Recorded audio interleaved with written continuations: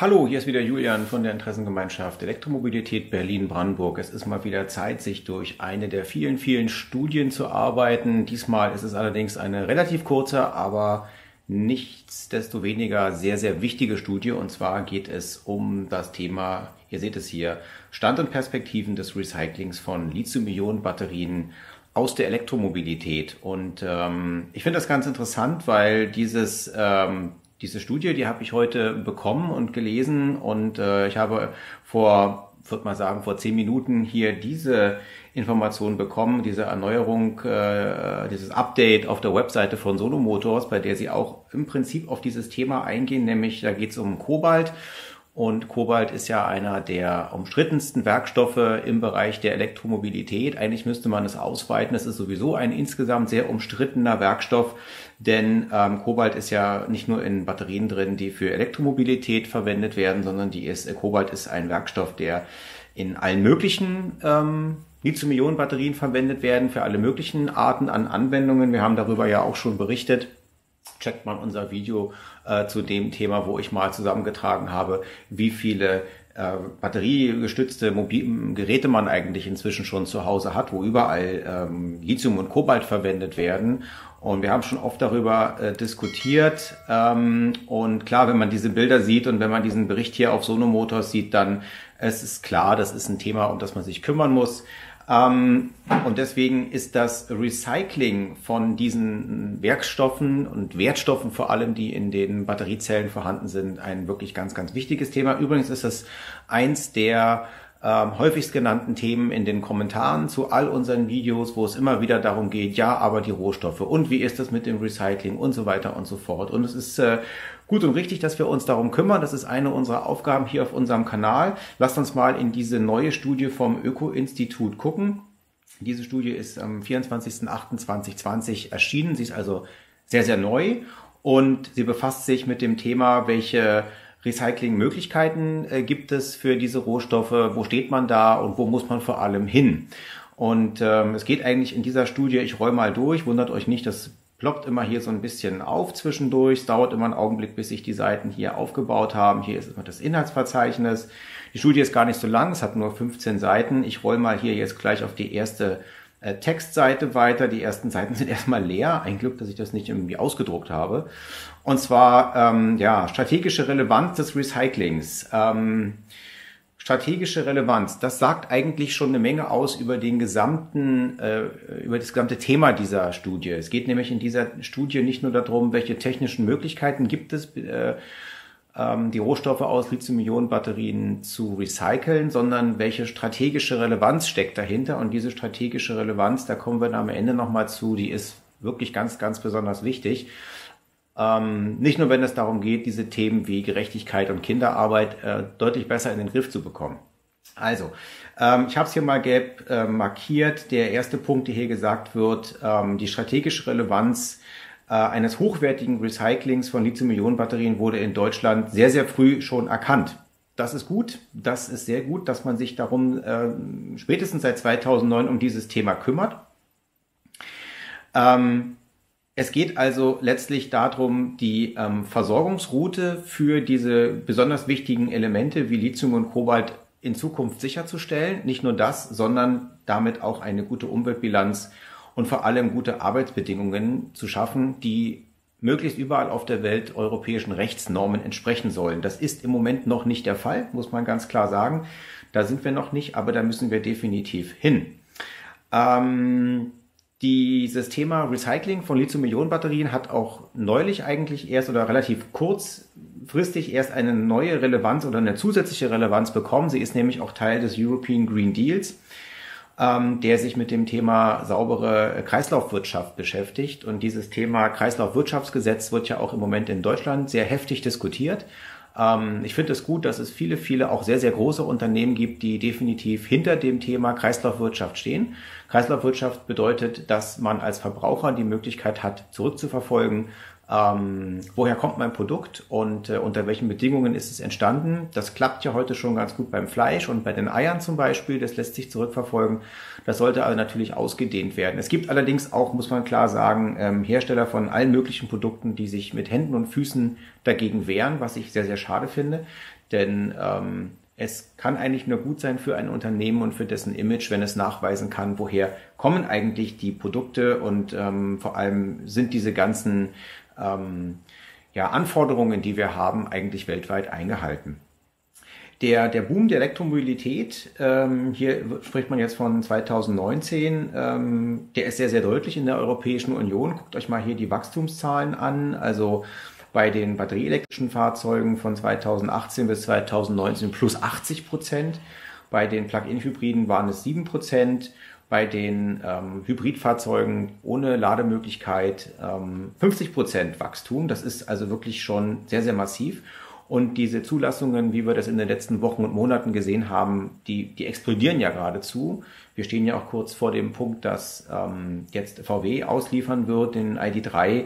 Und ich glaube, das wird gerade so zum Ende des Jahres hin nochmal einen ganz, ganz, wirklich ganz, ganz kräftigen Schub geben. Das heißt, die Perspektive bis 2030, sieben bis etwa zehn Millionen Elektrofahrzeuge auf den Straßen zu haben in Deutschland halte ich im Moment definitiv wirklich für realistisch und ich hatte es ja auch schon in, oder wir haben es ja auch schon in Videos und Sendungen zum Thema mit dem Strom, ne? also Stromnetzausbau, Erzeugungskapazitäten, ähm, Netzplanung darauf hingewiesen, dass also die Netzbetreiber ähm, in Deutschland sogar mit mehr als 10 Millionen Elektrofahrzeugen auf den Straßen rechnen, weil das wird irgendwann so ein Dominoeffekt, der sich nicht mehr aufhalten lässt.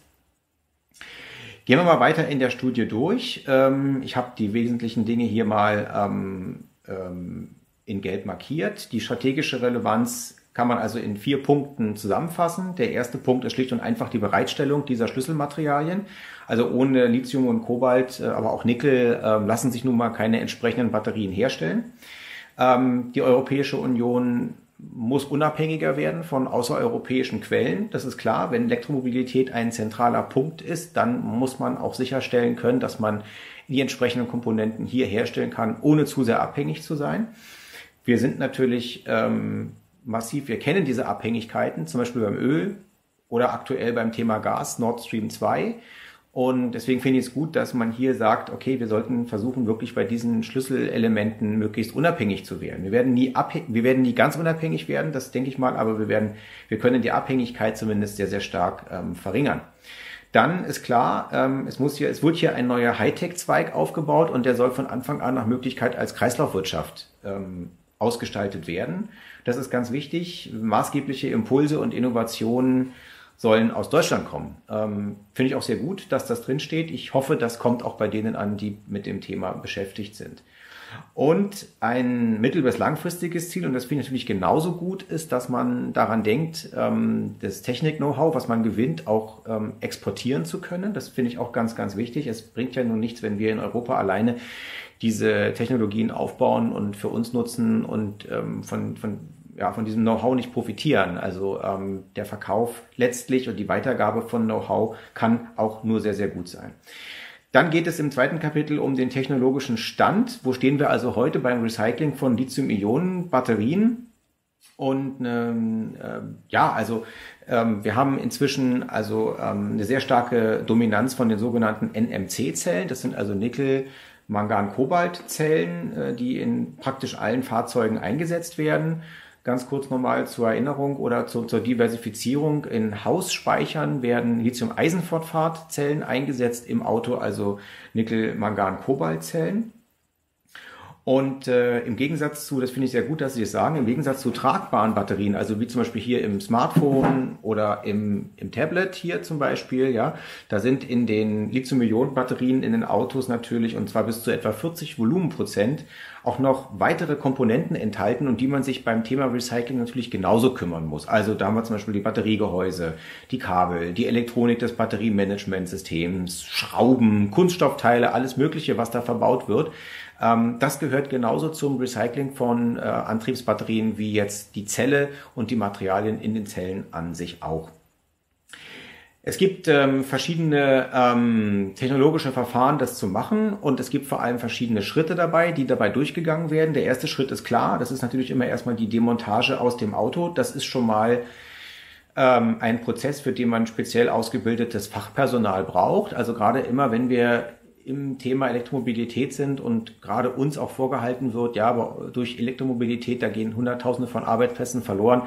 Das Thema Recycling ist ja ein maschinenbautechnischer Prozess, bei dem wir Fachkräfte brauchen und bei dem auch wieder Arbeitsplätze entstehen können. Also ähm, das nur mal an die, die immer behaupten, ähm, es, gehen so viele, es gehen so viele Arbeitsplätze verloren.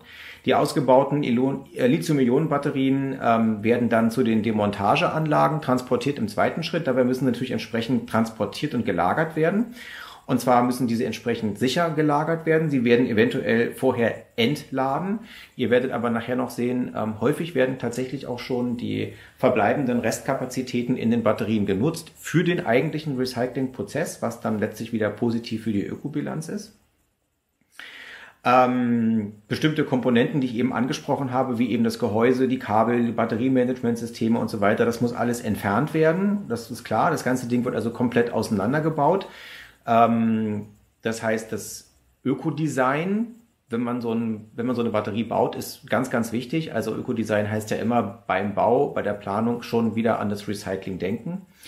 Und diese Komponenten, also diese, sagen wir mal, einfachen Komponenten, wie zum Beispiel Stahl oder Aluminium, Kunststoffe, die werden dann den bereits bestehenden konventionellen Recyclinganlagen auch schon zugeführt. Also Teile ähm, werden also auch heute schon problemlos, können heute schon problemlos recycelt werden. Ja, dann ist natürlich ähm, zu beachten, dass in solchen, ähm, beim, beim Demontieren der Anlagen natürlich die Arbeiter geschützt werden vor entsprechender ähm, Freisetzung von schädlichen Lösemitteln zum Beispiel oder auch für Wasserstoffen, die in den Elektrolyten enthalten sind. Da muss man aufpassen. Das ist klar. Das ist also wieder was für äh, hochqualifizierte Arbeitsplätze. Aber auch diese Arbeitsplätze müssen ja auch erstmal eingerichtet werden. Das ist wieder was, wo Arbeitsplätze entstehen. Ähm, und äh, diese einzelnen Zellmodule werden dann entsprechend sicher verpackt und entsprechend zu den Recyclinganlagen transportiert. Und dann gibt es drei verschiedene Varianten. Dazu kommen wir jetzt, ähm, die Module zu äh, recyceln. Hier das Ganze nochmal in dieser, in dieser Grafik äh, dargestellt, nämlich wir haben einmal oben LIB steht für Lithium-Ionen-Batteriemodul, also die äh, Entnahme aus dem Pkw, der Transport, das Entladen und Zerlegen, dann der Transport der einzelnen Module und dann sozusagen ähm, gibt es im Moment drei Möglichkeiten, diese Batteriemodule zu recyceln. Und zwar hat man hier den Blick vor allem auf Kupfer, auf Nickel, und auf Kobalt. Und was ist mit Lithium, werdet ihr fragen? Das ist immer so ein Thema. Lithium steht also tatsächlich im Moment nicht im Fokus des Recyclingprozesses. Ähm, das liegt letztlich auch am Preis. Äh, allerdings steht auch hier, dass die Rückgewinnung von Lithium wegen künftig stark steigender Mengen, also hier steht Volumina, also sprich Mengen, sehr stark an Bedeutung gewinnen wird. Also dieser Wahrheit müssen wir ins Auge blicken. Lithium steht im Moment definitiv nicht im Fokus des Recyclings. Ähm, hat aber eben auch was mit dem Thema, ähm, ja, wie viele Batterien kommen überhaupt zum Recycling zu tun. Zurück zu den drei Arbeitsschritten, ähm, hier als Grafik dargestellt. Ich überspringe das jetzt aber mal, weil das ist doch recht kompliziert und komplex. Ich versuche es mal in einfachen, in einfachen Worten ähm, und in wirklich sehr, sehr stark gekürzter Form äh, zu beschreiben, was man da immer machen kann. Also die sogenannte erste Route, also der Weg des Recyclings, die erste Route ist die pyrometallurgische Route. Das heißt, hier wird also tatsächlich das Batteriemodul thermisch behandelt und durch diese thermische Behandlung kann man dann die entsprechenden Rohstoffe wieder gewinnen. Das ist also die pyrometallurgische Route, die man dort geht. Ähm, hierbei werden zum Teil auch heute schon die elektrische Restenergie genutzt, um ähm, auf die entsprechenden Temperaturen zu kommen. CO2, äh, was dabei entsteht, wird in die Umwelt ähm, entlassen. Naja, ist wahrscheinlich nicht anders machbar. Äh, solche Produkte oder dieses, dieser Vorgehen, diese Route wird ähm, seit 2017 von der Firma Umicore in Belgien entsprechend schon durchgeführt. Und äh, die sind auch inzwischen schon dabei, ähm, das Lithium in Teilen zurückzugewinnen aus der Schlacke, die dabei entsteht. Allerdings gibt es dafür keine äh, weiteren Informationen. Also man ist dabei und ähm, Bei Umicore konnte man vor einigen Monaten eine Pressemitteilung lesen. Äh, ihr müsst mal gucken, ob ihr die findet, dass sie einen Vertrag geschlossen haben mit Audi ähm, zur Rückgewinnung von etwa 95 Prozent der Rohstoffe in den Batterien. Das ist doch schon mal eine sehr positive Aussage. So, die ähm, zweite, der zweite Weg ist die sogenannte mechanische Behandlung. Hierbei werden die ähm, Batteriemodule letztlich geschreddert und ähm, dann entsprechend die einzelnen Komponenten dort wieder zurückgewonnen. Und der dritte Schritt, und das scheint der zu sein, der im Moment am vielversprechendsten ist, ist sozusagen die Kombination aus beidem. Das heißt, die Batteriezellmodule werden zuerst thermisch behandelt und danach erst geschreddert, was unter anderem dazu führt, dass man eine bessere Trennung der einzelnen Rohstoffe damit erreichen kann. Ja, über, die, über das Recycling von diesen Nebenstoffen, die man dort hat, also zum Beispiel für, die, ähm, für das Batterie-Packaging außenrum, also Stahl, Aluminium, Kupfer bei den Kabeln, habe ich schon entsprechend gesprochen, ist hier auch nochmal entsprechend aufgeführt. Das ganze Dokument äh, ist verlinkt, ihr könnt da nochmal ein bisschen genauer reingucken ähm, wie das alles funktioniert. Äh, was ich sehr gut finde, ist, dass hier auch nochmal darauf hingewiesen wird, auf die Problematik der Selbstentzündung der Zellen, was natürlich bei einem Recyclingprozess, wo man na, ich will jetzt nicht sagen, ruppiger vielleicht mit den Zellen umgeht, aber wo man äh, eben an diesen Zellen rumarbeitet, um das mal so zu sagen, Schreddern zum Beispiel, muss man natürlich aufpassen, dass, sich, äh, dass es zu keiner Selbstentzündung der Zellen kommt. Ähm, und entsprechende Vorkehremaßnahmen müssen entsprechend getroffen werden, damit das nicht passiert. So, und ähm, ja, wo steht man denn jetzt eigentlich in Europa? Ähm, das finde ich eigentlich ganz interessant hier. Ähm, es ist also so, dass man im Moment tatsächlich ähm, sehr überschaubare Mengen an rücklaufenden Lithium-Ionen-Batterien aus Autos hat. Ne? Hier geht es ja hauptsächlich um den Bereich PKWs. Mm, und insgesamt halte ich persönlich auch das ähm, die Quoten, die für Lithium-Ionen-Batterien überhaupt im Moment existieren, mit 50 Prozent für viel, viel zu gering. Hier müsste man äh, viel, viel höhere Quoten ansetzen. Das heißt, wir haben im Moment maximal in Europa vierstellige äh, Tonnenbereiche, äh, in denen ähm, Lithium-Ionen-Batterien recycelt werden können. Ähm, das wird in den nächsten 10 bis 15 Jahren sehr stark zunehmen und von daher müssen dann auch entsprechend die Recyclingmöglichkeiten bis dahin entsprechend aufgebaut sein. Hier wird auch nochmal deutlich gesagt, dass die Rückgewinnung von Lithium und auch Graphit dann auch deutlich an Bedeutung gewinnen wird. Wie gesagt, das Recycling ist ja eine Möglichkeit, was man mit den Batterien macht, wenn sie im Auto nicht mehr einsetzbar sind oder nicht mehr eingesetzt werden sollen. Ähm, eine andere Möglichkeit ist das äh, Second Use, aber mh, mm, das ist noch nicht standardisiert und deswegen ist es schwierig, darüber Aussagen zu machen. Man geht also davon aus, mit einer, einer Batterie zu recyceln. Ob sie jetzt aus dem Second Use kommt oder ob sie direkt aus dem Auto kommt, spielt jetzt dabei dann erstmal äh, keine große Rolle. Ähm, ja, die heute vorhandenen ähm, Recyclingrouten, die man hat, sind also in der Lage, das fand ich sehr positiv, mindestens 90 Prozent an Stahl, Kupfer, Nickel und Kobaltverbindungen aus den äh, Batteriezellen wieder zurückzugewinnen. 90 Prozent, das ist schon mal gar nicht so schlecht.